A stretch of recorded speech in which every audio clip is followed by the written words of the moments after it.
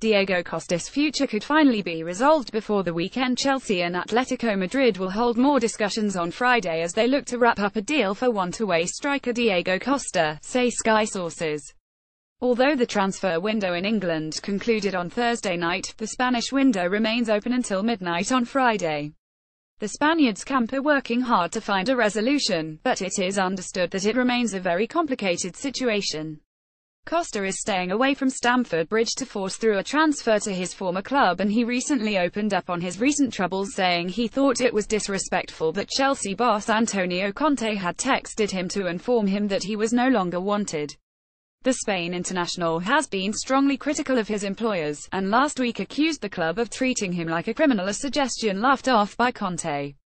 Costa's latest comments came on the back of news that his agent Jorge Mendes was attempting to broker a return for his client to Atletico, who are the only club he will consider moving to.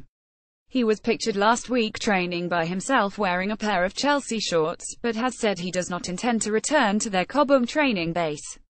Watch the highlights of Deadline Day on Sky Sports News. The 28-year-old has not been at Chelsea since they lifted the Premier League title in May and remains in self-imposed exile in his native Brazil, despite his club insisting he meets his contractual obligations to get fit and make himself available for selection.